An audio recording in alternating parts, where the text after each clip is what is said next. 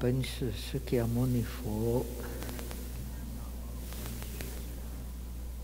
Namo.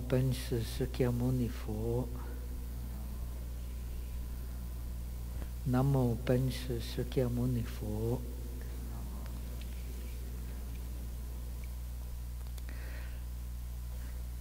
So now we are discussing these uh, five kinds of acquaintances, we need in order to make these uh, six steps of uh, meditation on the breath uh, wonderful methods. Wonderful methods means the methods of liberation. And uh, as we see from this text, actually, this uh, methods you can use according to your convenience. It does not mean the, that uh, during the counting you cannot uh, know clearly the uh, long breath and the short breath, hmm? and uh, knowing with wisdom also their causes. You cannot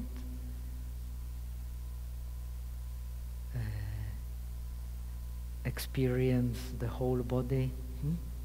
and you cannot uh, sublimate the uh, bodily formations, uh, the uh, actually uh, the breath.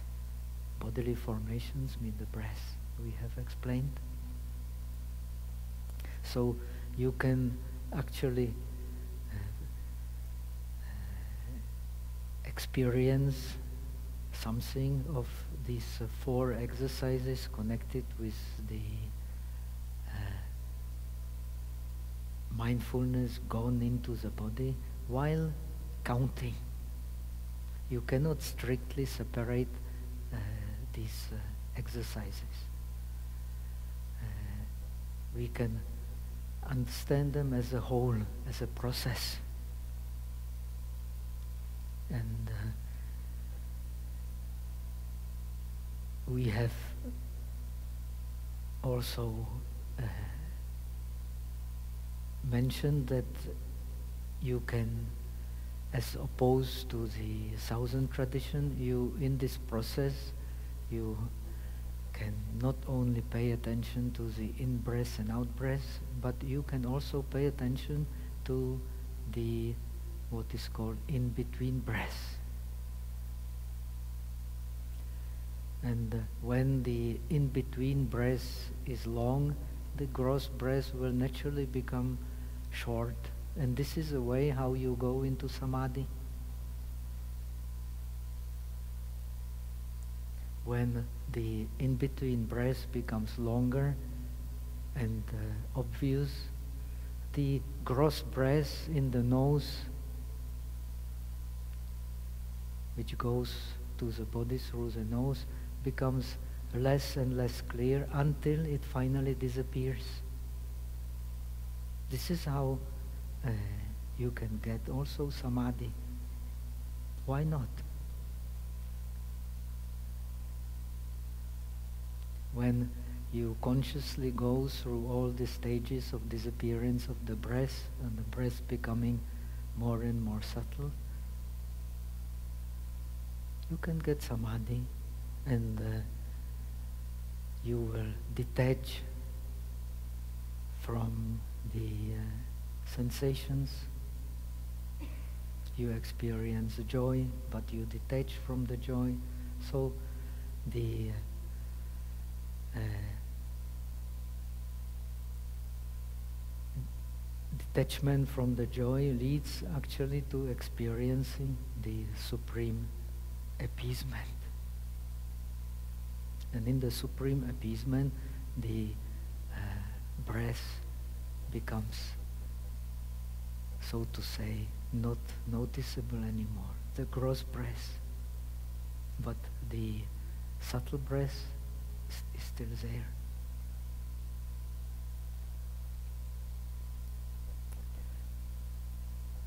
Uh, now we are also learning Qigong, so uh, we can use this uh, knowledge of the subtle breath to experience this subtle breath in different energy places in the body or in the whole body according to the need. Hmm? Then in this tradition, that means in the Tiantai tradition, then you can actually connect hmm, these different channels and uh, study the uh, vital energies in a very subtle way. This part is naturally missing in the Southern tradition, which pays attention only to the uh, what here is called the gross breath. Gross breath, as we have learned, is based on the gross space. The subtle breath is based on the subtle space everywhere in the body.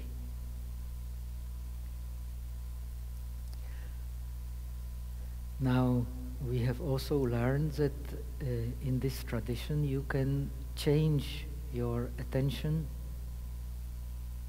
according to the need. When the mind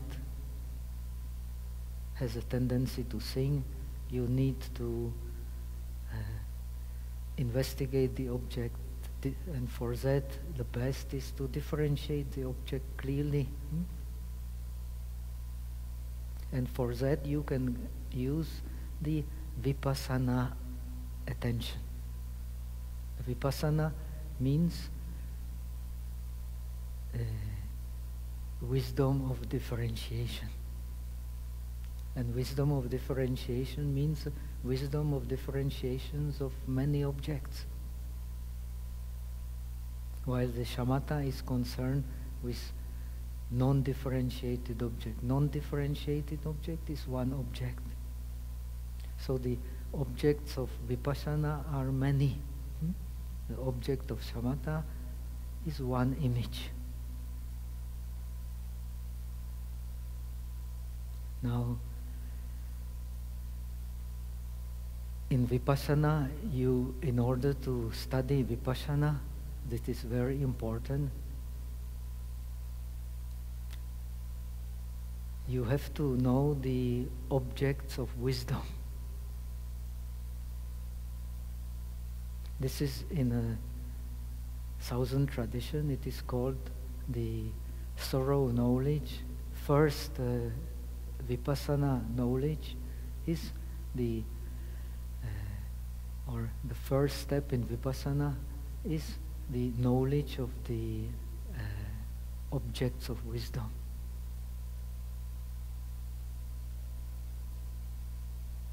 And the in the objects of wisdom, you don't find any self.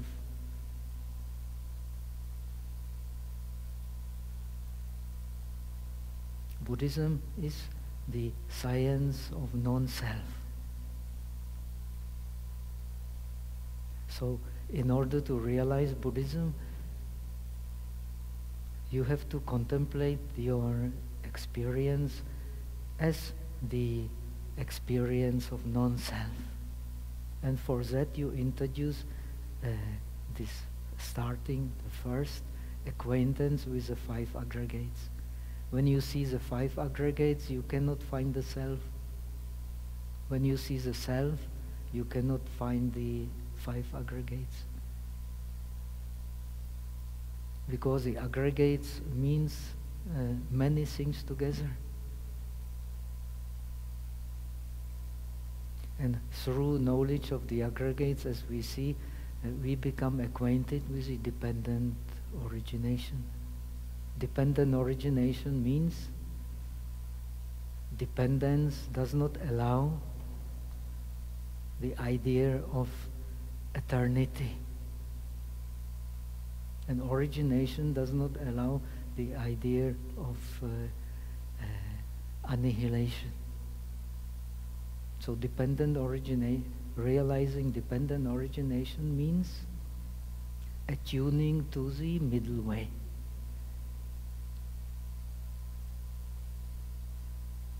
And then the object of realization is the Four Noble Truths. They all come here. It is through the penetration of the Four Noble Truths that the disciple of the Buddha becomes enlightened.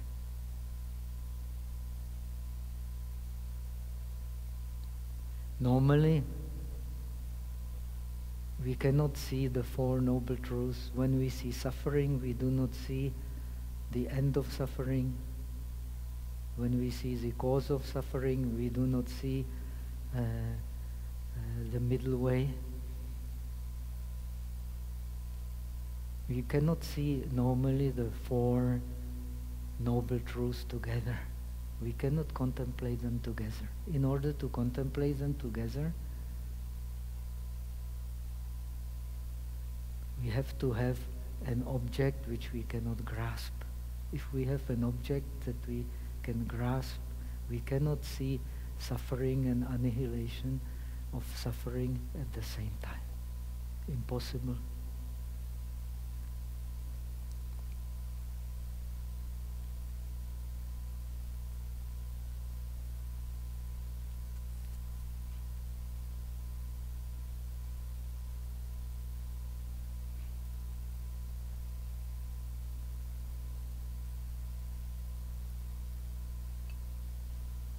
Now, uh, we also want to understand the uh, practice of the bodhisattvas, which is, of course, we should not separate it from the practice of the disciples. The Buddha is also an arahat, and he is a teacher of all the arahats.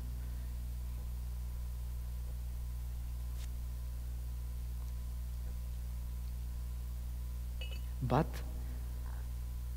we should definitely understand that the object of the path of the bodhisattva is the one object, non-dual object. And this object may you may call emptiness, you may call suchness. Hmm?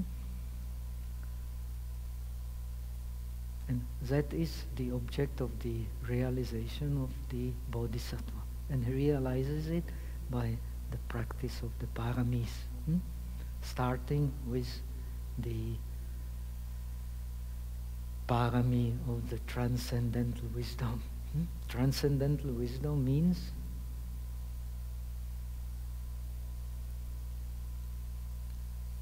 wisdom beyond differentiation. Hmm?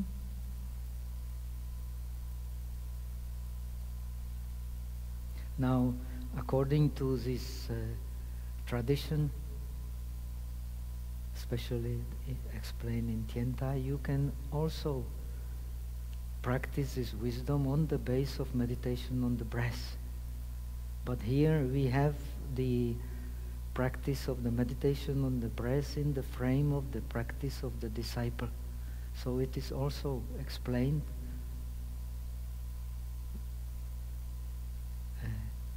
as the practice of the disciples. But we have explained already in regard to shamatha, always uh, somehow this uh, idea of the non-dual nature is in the background. The idea of uh, the ultimate realization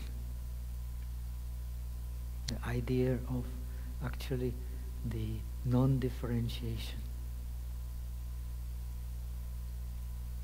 So uh,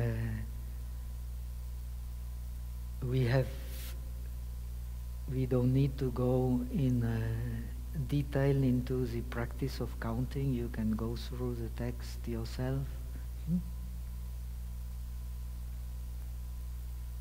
And uh, we now start to learn the uh, acquaintance of the aggregates. Hmm?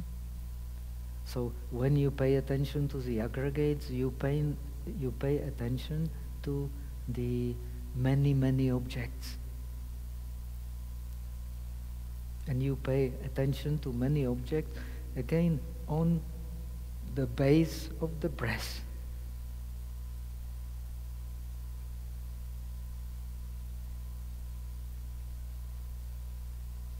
So let us see how they, the text explain it.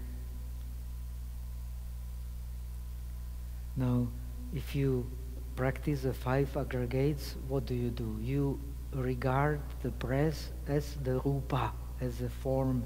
Hmm? And the definition of the form is actually in Abhidhamma being scattered. Hmm? The form is that which you can scatter. And actually, when you uh, study the breath with the differentiating wisdom, it will scatter.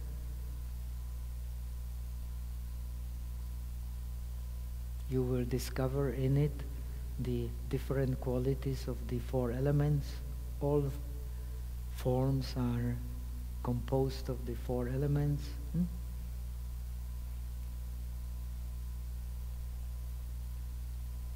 So you will discover there the quality of hardness, softness, hmm? smoothness, roughness, flowing, cohesion, hmm? heat, coolness, pushing, supporting. All these qualities are in the process of the change.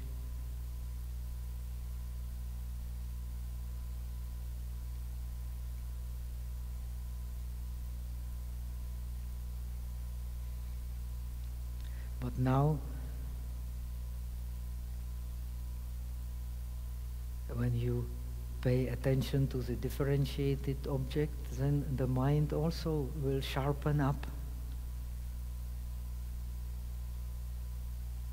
Uh, the real vipassana is also a state of samadhi. Through the samadhi of vipassana, uh, you can also realize the uh, ultimate reality. Hmm? There is a verse in the Dhammapada saying, Yatha yatha vipassati khandanam udaya bhayam labhati piti pamojam amatam tam vijananto. Hmm? When one uh, differentiates with wisdom the arising and passing away of the uh, aggregates, the five aggregates. One experiences joy, uh, gladness and joy, uh, while uh, knowing the that beyond the death. What is that beyond the death? Nirvana. So, by inve investigation can become also the uh, miao men, the wonderful method, the method of realization. And it cannot be strictly separated from counting, following, hmm? placing. So uh, we have to see this process of uh, awakening as an organic process, not as something we separate and learn one independently of the other. This kind of view is called what we have described as a mechanical thinking. Hmm? And the mechanical thinking precisely is what divides us from reality, what separates us from reality. Because we have the automatic or mechanical thinking. Therefore, we do not, do not see the whole but the reality is a whole. It cannot be otherwise because it is dependent origination.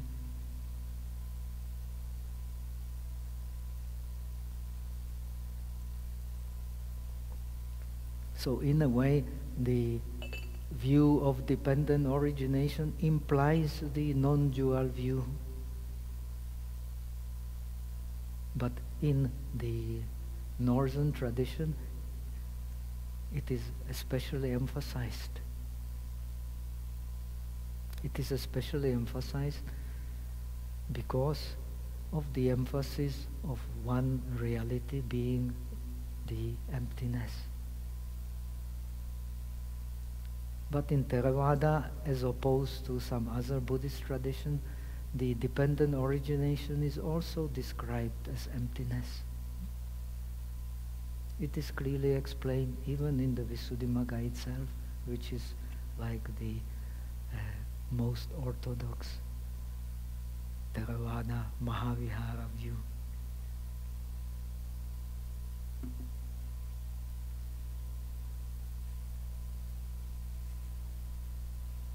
Yet, the conclusion is not that uh,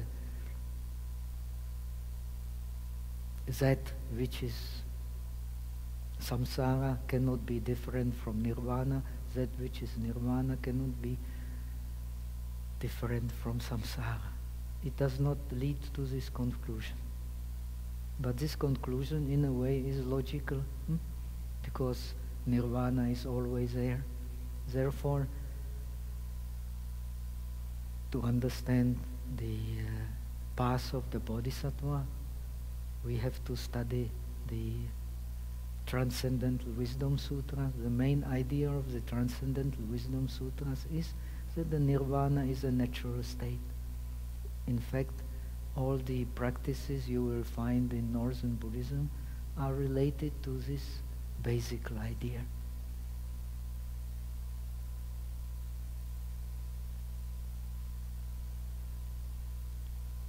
So by devoting oneself to that practice, cultivating it uh, time and again with continuity, physical appliances and mental appliances uh, arise.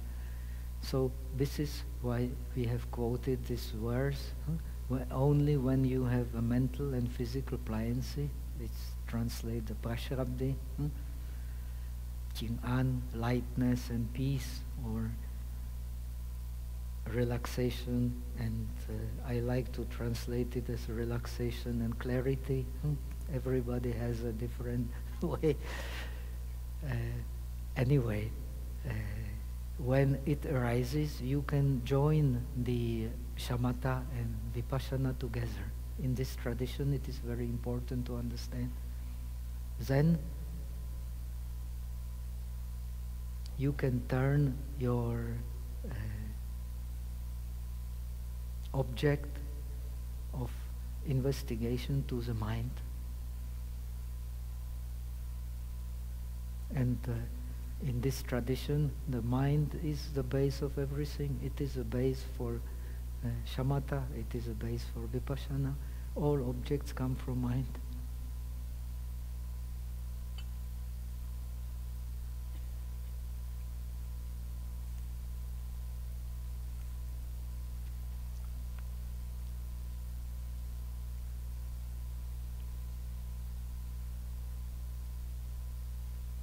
The ideal state for investigation of the mind is when the so-called uh, eight apakshalas, the eight uh, things that make the samadhi not perfect, disappear.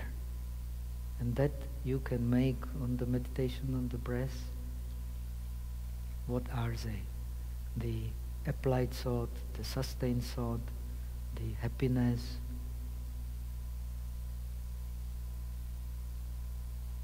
uh, the, joy, happiness. Hmm? Then uh, uh, the uh, suffering and uh, unpleasant mental unpleasant mental sensation, huh? yo or uh, domanassa, huh? how to translate domanassa? what is the best translation for domanassa? Sadness? Hmm? Actually, it means literally the bad mind. Hmm?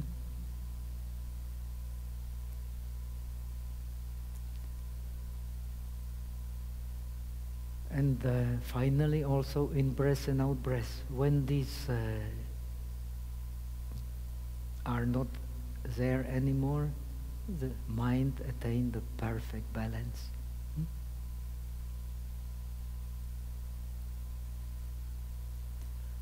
Normally, it happens in the fourth dhyana, but actually now you are studying this tradition, so uh, especially we are emphasizing the nine hmm, stages of shamatha. When you have applied, when you stay in the ninth stage of uh, shamatha, you can also attain this state without actually going through these dhyanas because when you go through the dhyanas, your mind becomes stuck. You cannot, you are absorbed in the object. So in a way you are stuck, unless you have the supernatural powers.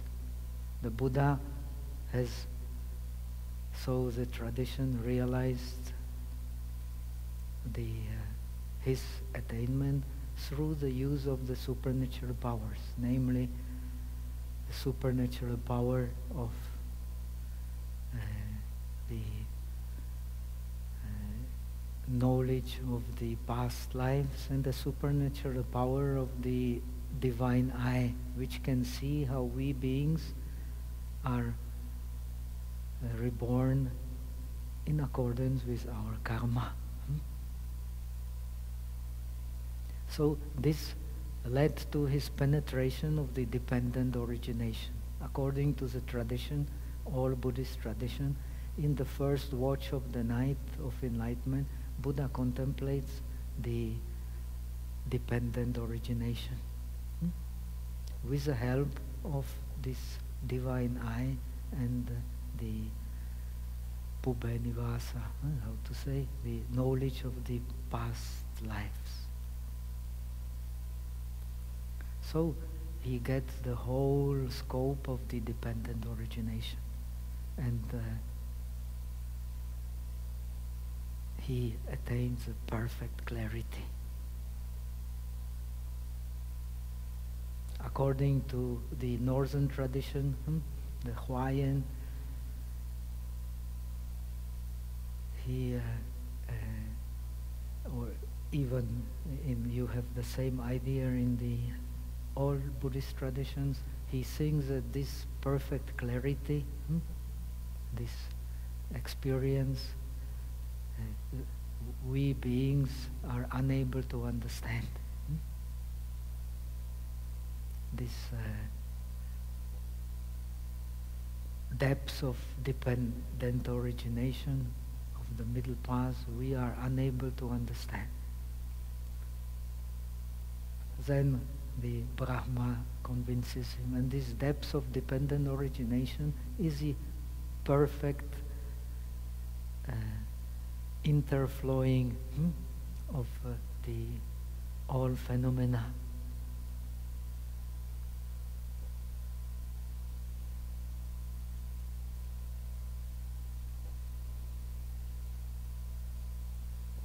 which then has the universe dimension.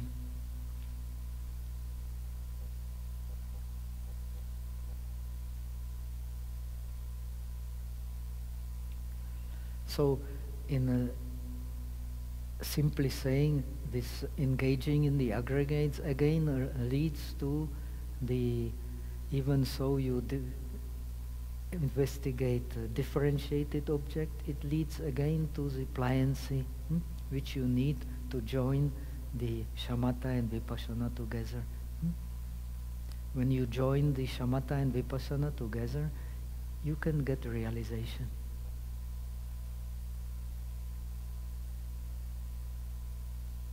This is explained as uh, in the Dhammapada, Nati Janam Apanyasa Nati Panya Ajanasa Yasa Panya Cha Janam Cha Sonibana Santike.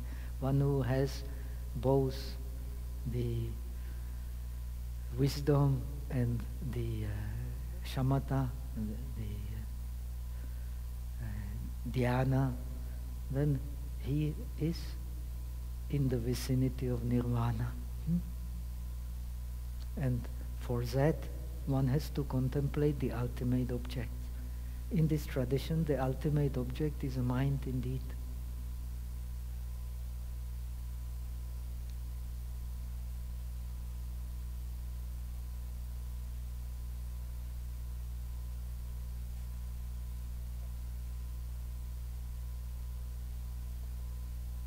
One who has thoroughly trained the body like that engages with the aggregates by attending to objective and subjective phenomena. I have to see the Chinese to be clear.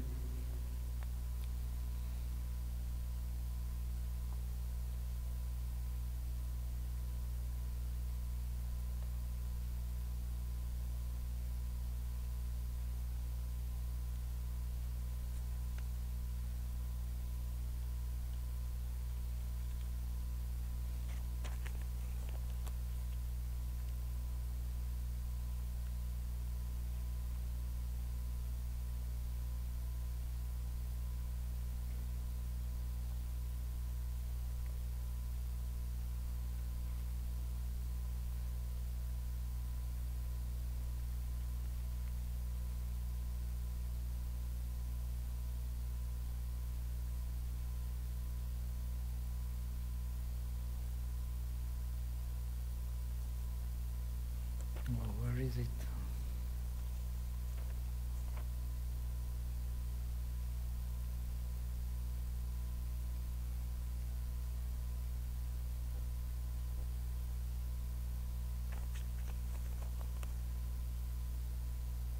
Anybody has found it? Ah, Yin. Hmm? Ah, here, here.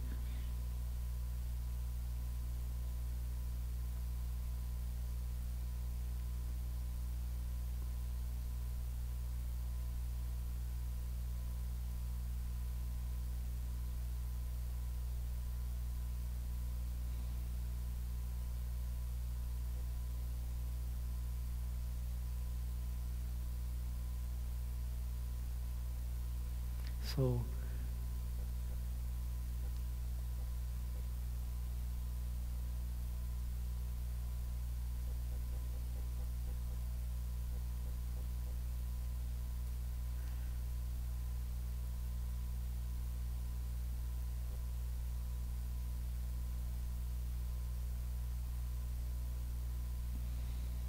there is no objective um, uh, Suochi and Sangchi. Okay. I understand. It's a bit uh, strange uh, translation. It's a bit confusing. Swochik and Nengchi means grahaka grahya huh? in Sanskrit. Means uh, the uh, object and subject. Huh? It would be better huh? Uh, than attending to objective and subjective phenomena. Of course, uh, this translation is right because the object and subject is many, many objects and many, many subjects, but uh, it is not so clear. Hmm? He translates this concept of the uh, one who can, uh, that which uh, grasps the phenomena and the, the that which grasps and that what is grasped. The Chinese translation is very precise.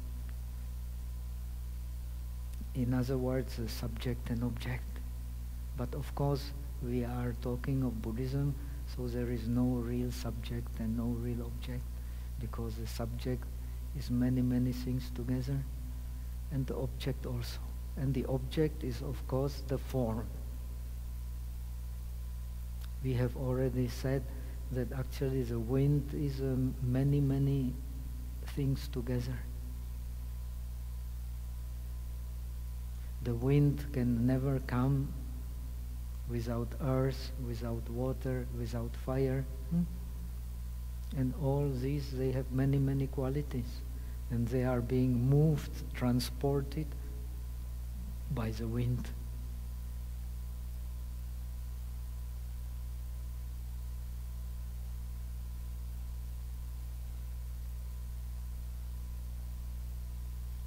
If there is no wind, the hardness cannot move. Hmm? And everything is on the move.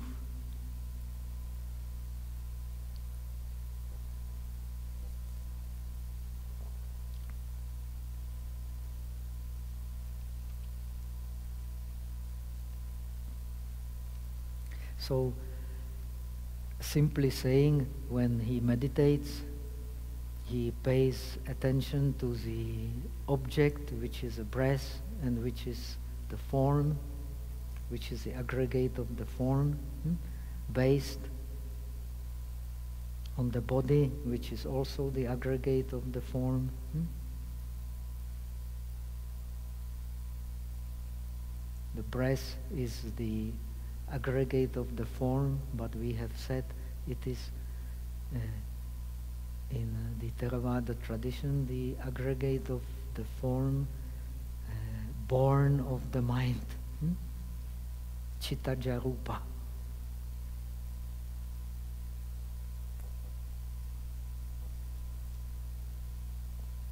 And it is dependent, the Chittaja Rupa is dependent on the Karajarupa, on the uh, form born of the karma. Hmm? If there is no form born of the karma, there cannot be breath. And when you meditate on the four elements, what will happen? The form will scatter. The nature of the form is scattering the form will scatter into what? Into kalapas, hmm? into the uh, uh, the uh, you can say the molecules or into the aggregates of form. Hmm?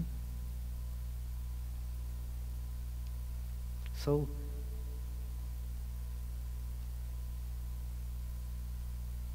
the form is actually very, understanding of the form is actually very, very important in this tradition.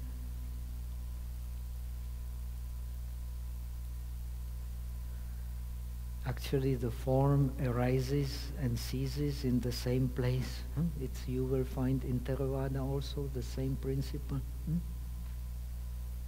Yatha yatha upajati tatha tatha nirujati. Hmm? the form. That's why we have explained the real object of meditation on the breath is the our, is the concept of the breath. Hmm? The real breath is is appearing and disappearing in each and every moment. So what we actually experience is the concept of the breath. That's why we can contemplate the breath being long and breath being short. How can the breath be long and short? It disappears in each and every moment. It is a concept of the breath that is long or short. And that concept we follow. Therefore we can get samadhi. We cannot follow the real breath because it disappears in the very moment it appears.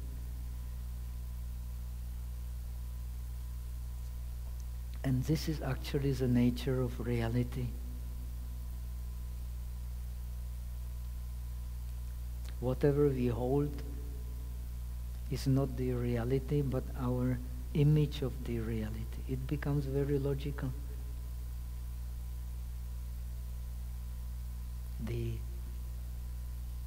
money we hold to, the woman we hold to, the car we hold to, the house we hold to, all these objects of our attachment, they are the images, not the reality.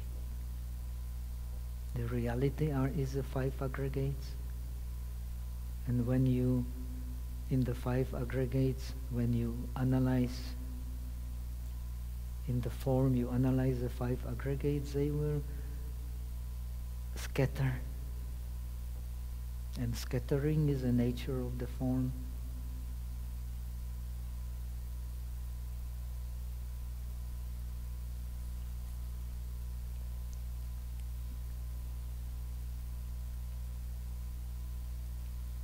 So this is very deep. But when we understand it, the emptiness becomes clear. In this tradition,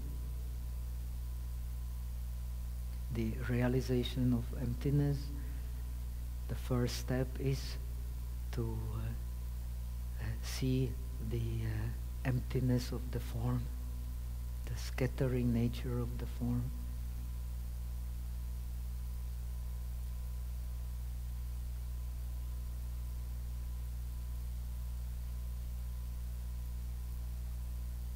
Since the form is not real, the mind which hangs on the form is cannot be real also. Hmm? So that's how you dissolve the subject and the object.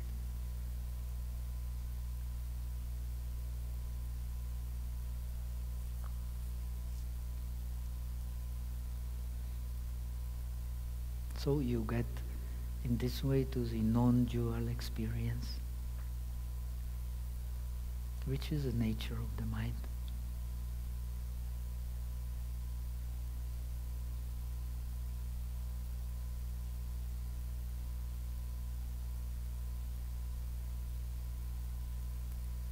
So when he engages with the aggregate of the form, the form will actually scatter.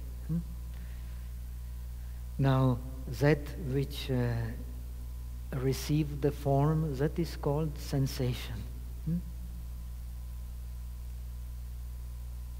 Now, sensation cannot exist without the form. Very important to understand.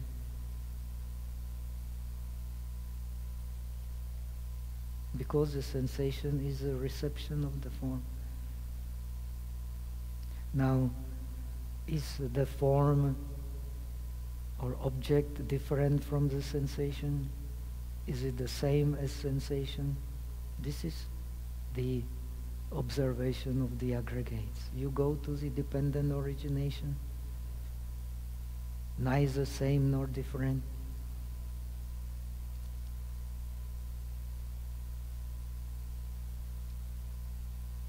There is no sensation without the form. There is no form without the sensation. Hmm? But still, you have to understand the form and sensation are not the same. This is the first vipassana knowledge in the Theravada tradition. Hmm? Nama Rupa Paricheda but yet they exist only in dependence on each other. They cannot exist separately.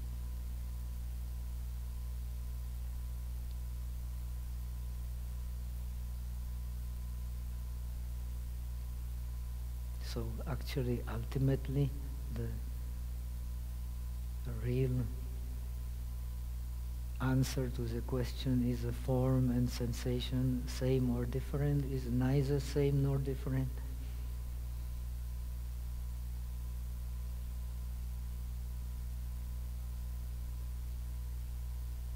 But at first we have to realize their difference, right? The sensation belongs to the mind, which is the subject, and the form belongs to the object.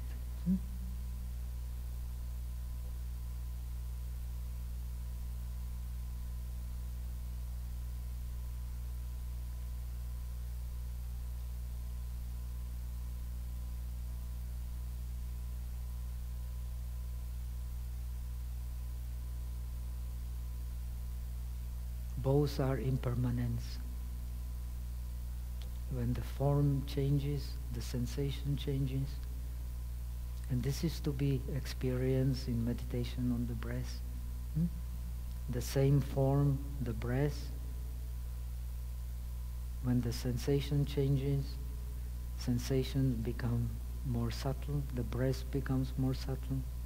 Sensation is gross, the breath becomes gross. Hmm? Subject, object, interrelated.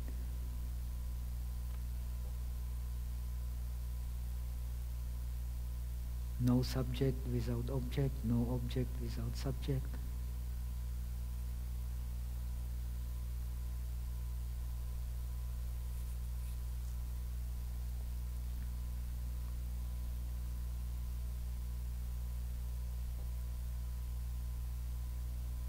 So one who does so on the feelings that are conjoined with the mindfulness. So we have explained all this we experience through the mindfulness on the in-breath and out-breath that apprehends the inhalation and exhalation, engages with the aggregate of feeling. So he understands the feeling or sensation, maybe better word here, is that which receives the object, either as pleasant or as unpleasant, or as neither pleasant nor unpleasant. When your mind becomes subtle, it becomes pleasant. If the mind is gross, it can become very unpleasant. When you run up the mountain, the breath becomes very unpleasant when you rest your mind and body, the breath becomes very pleasant because the mind is very subtle, sensation becomes subtle, and the breath becomes subtle, dependent origination.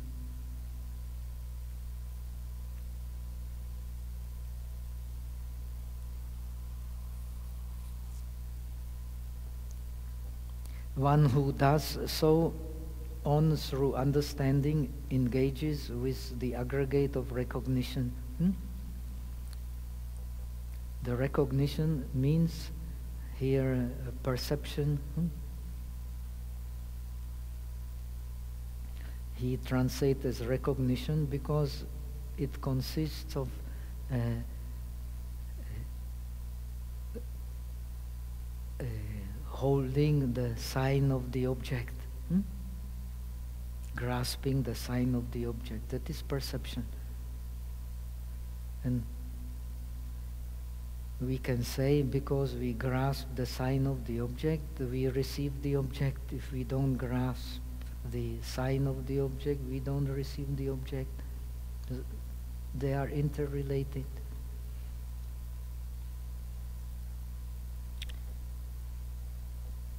So, uh, sensation is a, uh, closely related to perception. So they are most important parts of the mind process. They are called the formations of the mind because the mind differentiates in accordance with perception and sensation.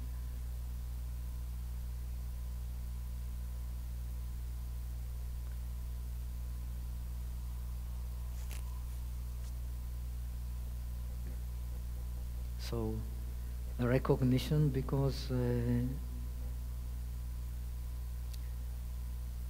when there is a sign of the object, the mental process can appear. If there is no sign of the object, what mental process will be there. Hmm?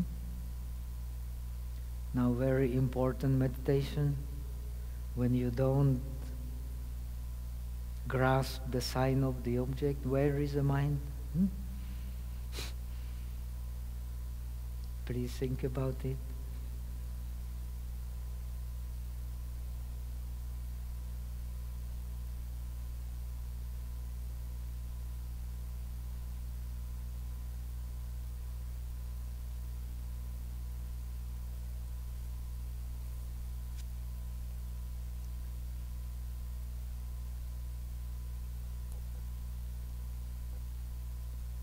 When you take the sign of the object, you can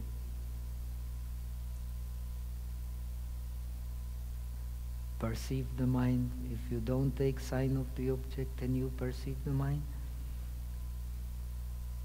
And to take the sign of the object, you have to pay attention, right?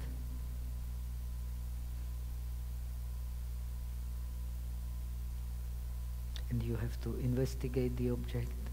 Hmm? So, then the mind will go to the object and start differentiating. Hmm?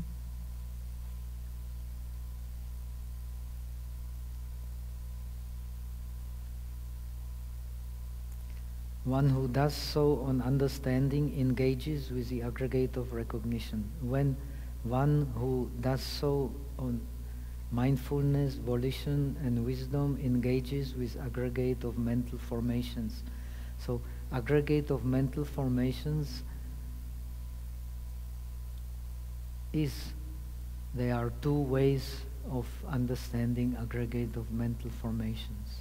It's either will or all the other mental formations except the uh, sensation and recognition, what he calls here, perception. Hmm? Actually, recognition and sensation or perception and sensation, they are also mental aggregates, but Buddha teaches them separate because of their importance. They have the decisive role to play in the formation of the mind. So they become separate aggregates, but they are also mental formations. This is clearly explained in Abhidharmakosha.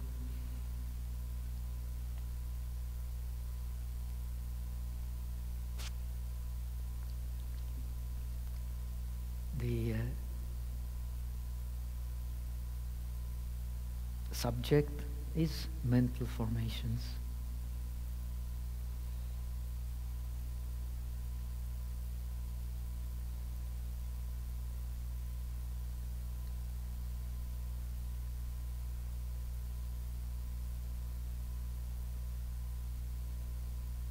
These mental formations, they you can investigate them when you hold the sign of the object and you receive the object. Otherwise, what will you differentiate? Very important to see.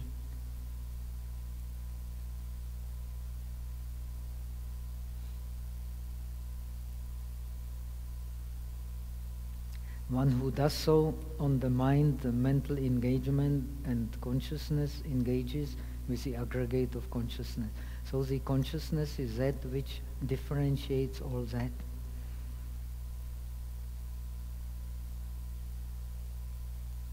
On the base of the worldly consciousness, on the base of sensations and perceptions.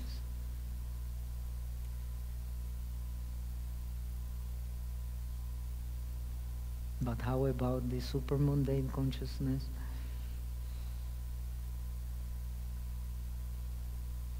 One has to experience to know.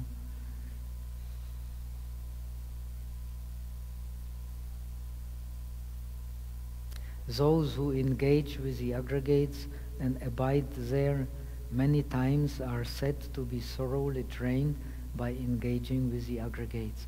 So it means by engaging with the aggregates uh, thoroughly, you can actually also realize the path. You can realize the uh, dependent origination. You can realize the Four Noble Truths. Hmm? Why? Because the aggregates as a whole. And as the Buddha explains only when you know the whole, only when you penetrate the whole, only when you uh, detach from the whole. Only when you abandon the whole, you can. What means abandoning?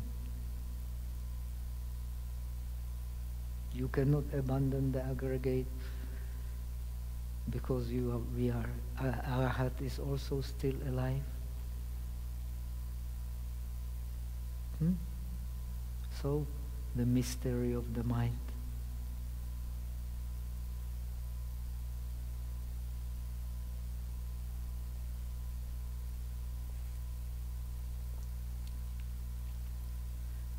So when we know the whole is explained as when we know the uh, real characteristics of our experience, hmm? the hardness being the earth, the movement being the wind and so on, hmm? the heat or coolness being the fire element, the reception of the object being the uh, sensation, hmm? holding the sign of the object being the perception, hmm?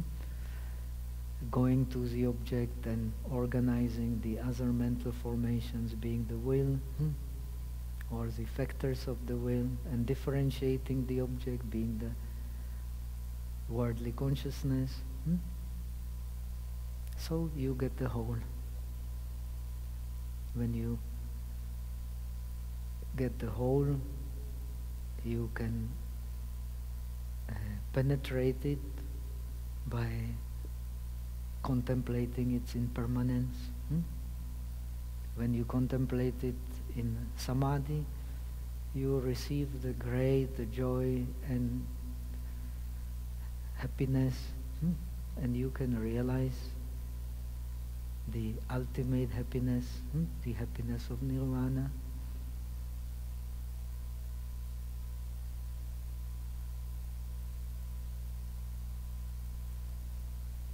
Why? You can penetrate the dependent origination. Hmm? That's what the Buddha did. What means dependent origination? These causes and conditions, they arise and cease at the same moment.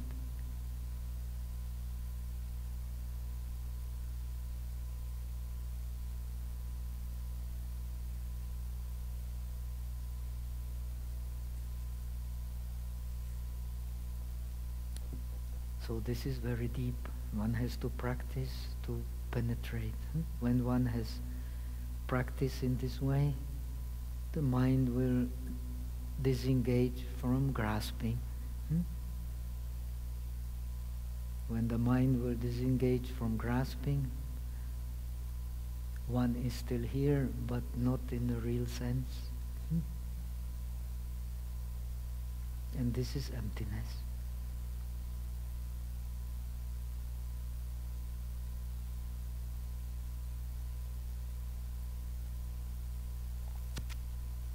So the acquaintance with engaging with the aggregates become the wonderful method, the method of liberation.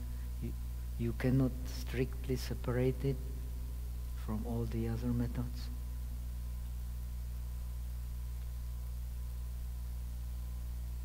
So we should understand the meditation as a process in which actually these different parts of the process cannot be strictly separated. They interflow. And when we want to practice really in depth, we should see this interflow, not use the mechanical mind. Hmm? And we are all trained kind of with a mechanical mind. Due to mechanical mind, we see the real subject and the real object. Hmm?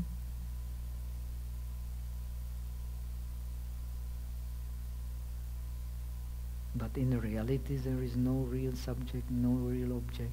Where can you find sensation without the form?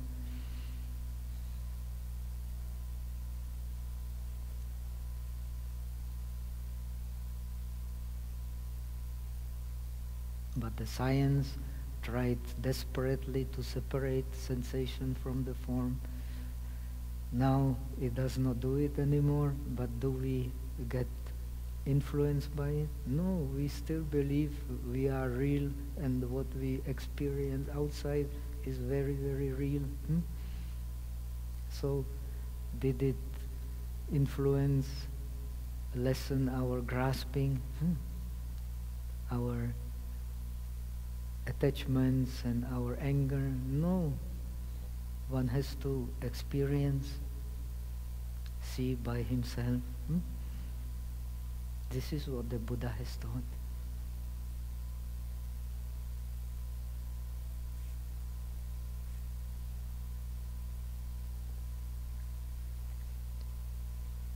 So through training by engaging with dependent origination, the dependent knowledge of dependent origination naturally flows from the knowledge of the five aggregates if we investigate them in the way described here.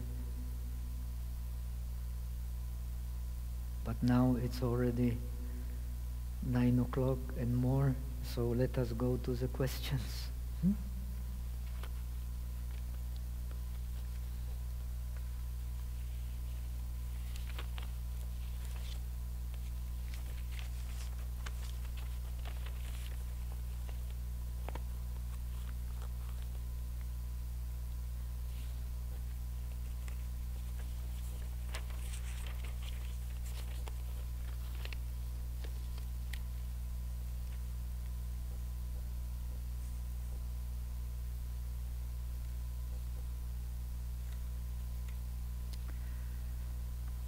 What is a technique for placing? Hmm?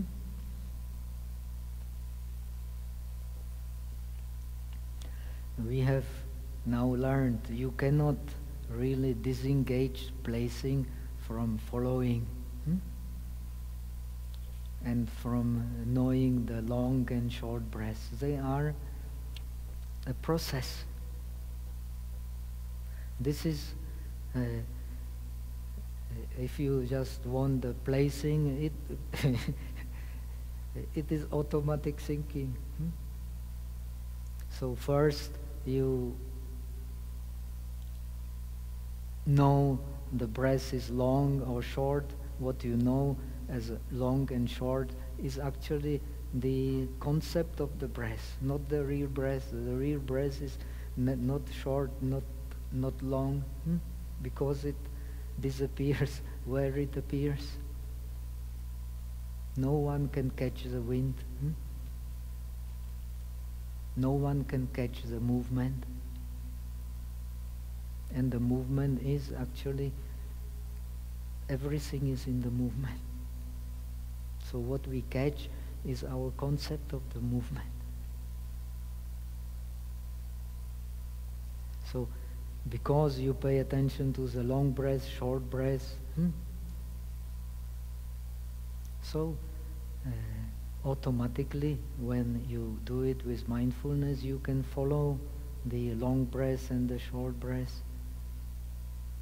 When you can follow the long breath and the short breath, then uh, your, you will be able to place the mind on the mental image which becomes very clear. Hmm? At first, this mental image of the breath will be uh, when you apply more concentration, then this uh, place where you apply the mind will become kind of connected with certain visual appearances. At first they will be sporadic. When you continue not to, to engage with the long or short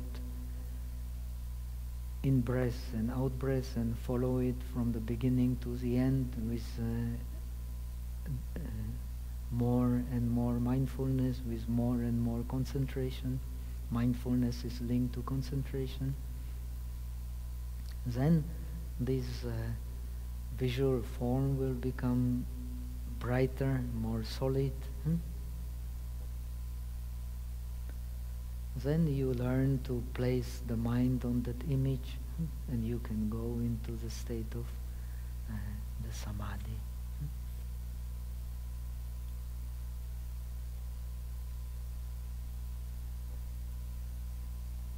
So, uh, in this meditation on the breath, then this uh, experience of the mental image of the breath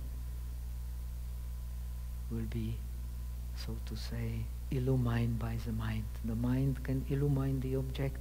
Hmm?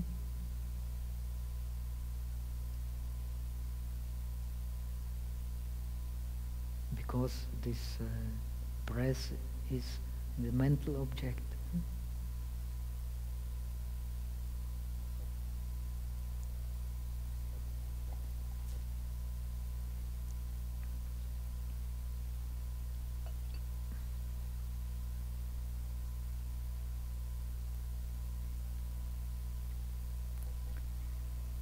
Will you please explain again the method of following? well, I, we have explained that. Hmm? You cannot separate the following from the clear understanding of the long or short breath. When you clearly understand the long or short breath, you will follow the long or short breath from the beginning to the end. Hmm? When you can do that, you can place your mind on the mental image of the breath you have created in the mind. When you can do that, that image will become illumined. Hmm? So please try to avoid the automatical thinking. Hmm? This is why this text is so uh, instructive because in a way it attempts to break our much better in a way than the explanations you find in the Southern Buddhism to break our very very uh, rigid idea automatic thinking. We train in uh, long and short breaths then we train in uh, uh, following, then we train in placing, then we train in uh, uh, uh, investigating. When we have trained in investigating, only then we can uh, turn away from impermanence. Hmm? only then, when we have turned away from impermanence, then we can uh, attain the purity. Hmm? Actually, these things, they are linked together. Who separates them? So, in a way, the Asanga is uh, Asanga himself is very well trained in all the agamas, in all the abhidharma, but he introduces these connects them with the idea the bodhisattva path of one reality in which the different parts cannot be strictly separated. And it is very useful, extremely useful for meditation. The mechanical thinking is the enemy of meditation.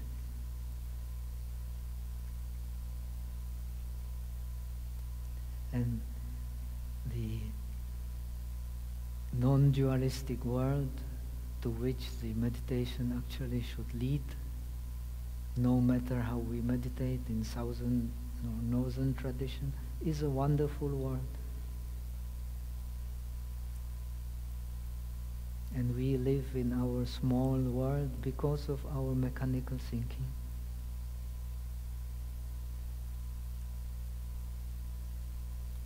In a way, this is more clear in uh, Northern Buddhism or in the Hindu tradition. Hmm?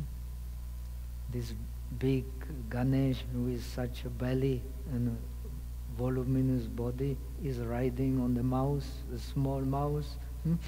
Where does it happen? In a non-dual world.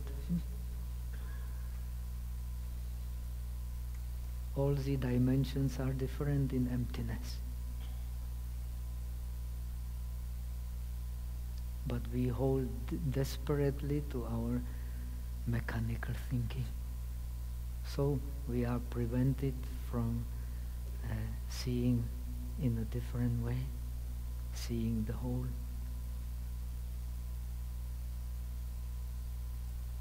How does one use awareness to purify the mind? Oh, it's very simple.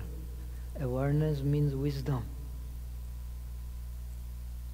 And if we have awareness, we can see the defilements clearly. If we don't have awareness, we cannot see defilements. But we are in the middle of defilements. So due to awareness, we become aware of what? We become aware of the object. Due to awareness, the object becomes clear because it is a wisdom which makes the object clear. That's why the wisdom is explained as light. Hmm? The symbol of wisdom is light even in our uh, Western civilization. Hmm? Every university has a lamp as a symbol. Hmm? The wisdom is light. What is a function of wisdom? What is a function of awareness? To illumine the object. Hmm? When the object is illumined, the mind becomes clear. When the mind becomes clear, it becomes aware of the defilements. If the mind is not clear, what is it aware of?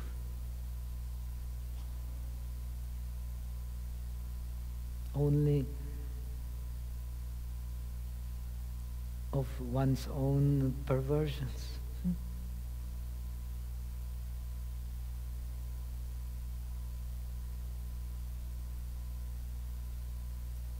Be being involved in the perversions, it uh, does not see the reality, does not uh, illumine the reality. Due to perversion, what is the opposite of wisdom? The ignorance. Hmm? And ignorance means perversion. So when our mind is perverted, it has even so it has defilements, it, it does not see them. When we see the defilements, we can remove the defilements. When we don't see the defilements, how we can remove them? Similarly, when we experience the suffering, when we penetrate the suffering, we can penetrate the end of suffering. If we don't penetrate the suffering, how can we penetrate the end of suffering? When we penetrate the defilements, we also penetrate the uh, antidotes, how to deal with the defilements. Because we will see the causes of the defilements, how they arise, how they cease. Hmm? This is all this is awareness.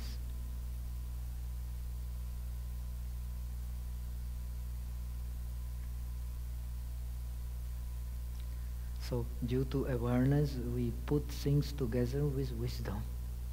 When we put things together with wisdom, we remove ignorance. And when we remove ignorance, then the object remains always clear and the mind has no defilements. What prevents us from seeing the nature of the mind? The non-clarity of the objects and the defilements.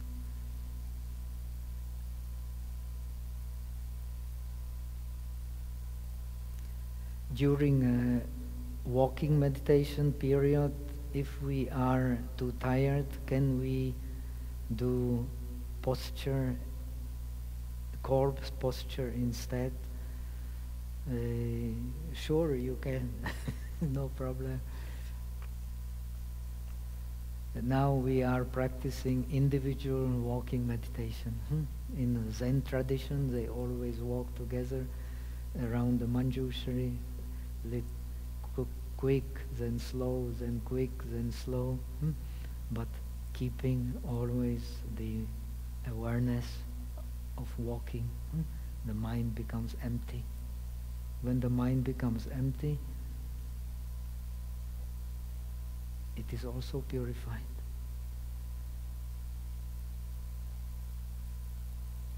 So this experience of the empty mind is very, very important.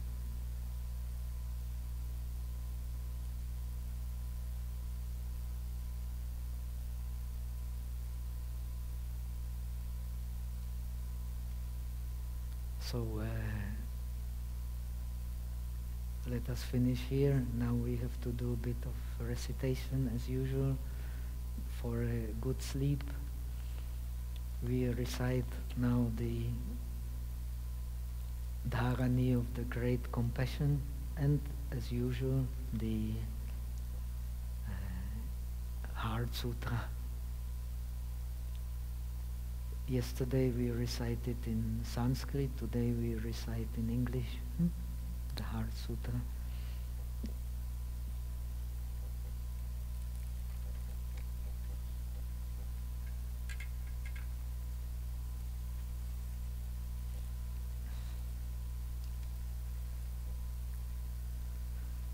Oh yes, I told you I am going to translate this Dharani of great compassion, so let us leave it for tomorrow. Hmm? So today we just recite. Namo Ratnatrayaya Namo Arya Avalokiteshvaraya Bodhi Sattvaya Mahasat Sarvaya Mahakarunikaya Om Sarva Bhayeshu Trana Karaya Tasmai Namaskritya Imam Arya Avalokiteshvara Tava Nila Kanta नमो हृदयम् आवर्तयिष्यामि। सर्व आर्तसाधनं शुभम् अजेयं सर्वभूतानां भवमार्गविशुदकम् ॐ तत् यथा आलोके आलोके लोकमति अतिक्रान्ते। हे हे हरे महाबोधिसत्त्व स्मर स्मर हृदयं। कुरु कुरु कर्म साधाय। साधाय। धूरु धूरु विजयन्ते महा विजयन्ते धग धग धारेन्द्रेश्वर छल मल विमल अमल मुक्ति एहि एहि लोकेश्वर राग विषं विनाशाय। द्वेष विषं विनाशाय। मोह छल विषं विनाशाय। खुलु Hulu Mala, Hulu, Hulu Mala, Bulu, Bare, Padma, Nabha, Sara, Sara, Siri, Siri, Suru, Suru, Bodhiya Bodhiya बुधाया बुधाया Maitreya नीला कंठ दक्षिण प्रहलादाय स्वाहा महासिद्धाय स्वाहा सिद्ध योगेश्वराय स्वाहा नीलकण्ठाय स्वाहा पद्महस्ताय स्वाहा चक्रयुक्ताय स्वाहा शङ्खशुब्धने बोधनाय स्वाहा वामदिश स्थितकृष्णजिनाय स्वाहा व्याघ्रचर्मनिवासनाय स्वाहा नमो रत्नत्रायाय नमो आर्य अवलोकितेश्वराय ॐ Siddhyantu Mantra Padhaya Swaha. Now we recite the Heart Sutra in uh, English.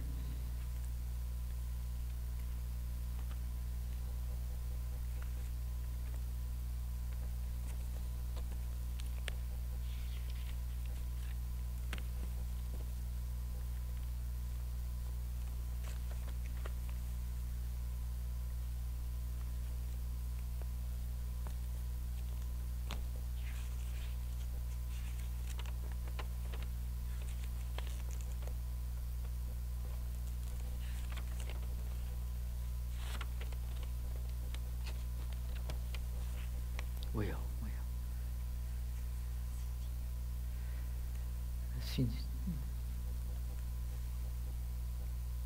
The heart of Prajna Paramita Sutra. Bodhisattva Avalokiteshvara, while deeply immersed in Prajna Paramita, clearly perceived the empty nature of the five skandhas and transcended all suffering. Shariputra, form is not different from emptiness, and emptiness is not different from form. Form is emptiness, and emptiness is form. So it is with feeling, conceptions, mental formations, and consciousness.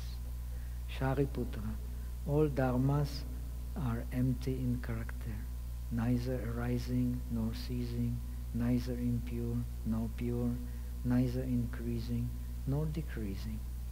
Therefore, in emptiness there is no form, there is no feeling, conception, mental formations, and consciousness. No eye, ear, nose, tongue, body, and mind.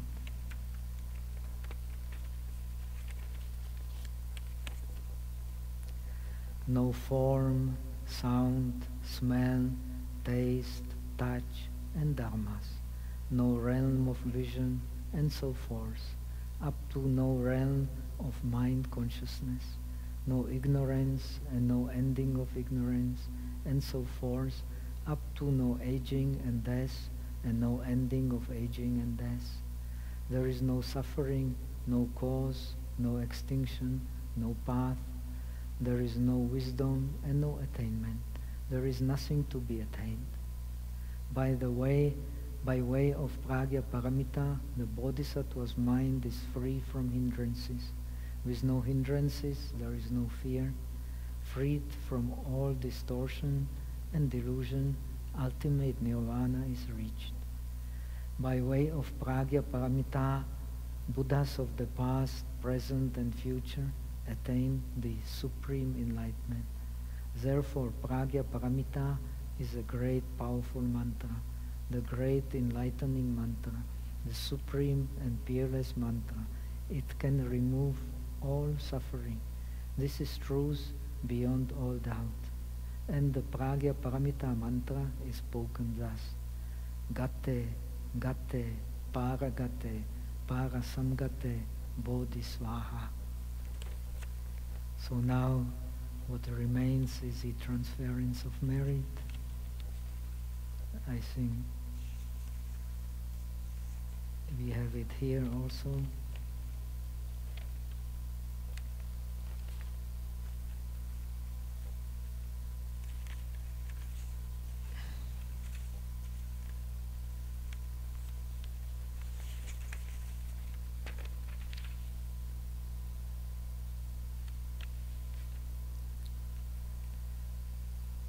愿此功德普及一切，我等一切众生。